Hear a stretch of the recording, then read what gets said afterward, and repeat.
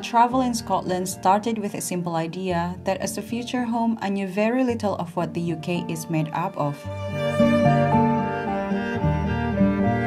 Before moving to the UK, many areas in England, Scotland, Wales, and Northern Ireland is as unknown and unexplored as the vastness of Asia.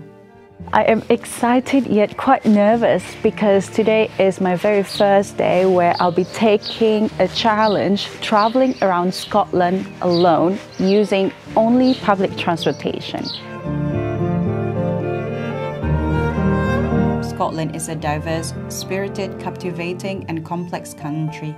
A fascinating blend of ancient heritage and wild landscape that touches one's soul and offer adventures in fantastic surroundings. What I find it fascinating about this place is there is very little to no civilization. Starting in Scotland's biggest city, Glasgow, I headed north and took Scotland's most scenic railway, traversing the mountainous region heading toward the Scottish Highlands.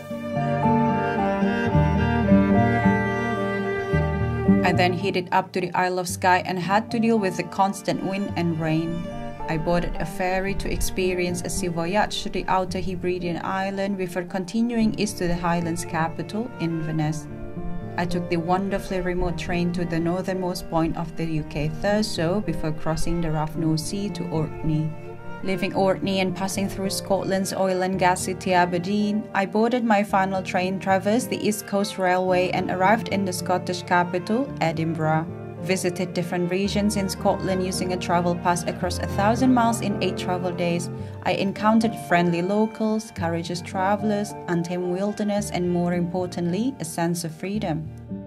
Through this journey, I found a sense of affinity and a sense of home.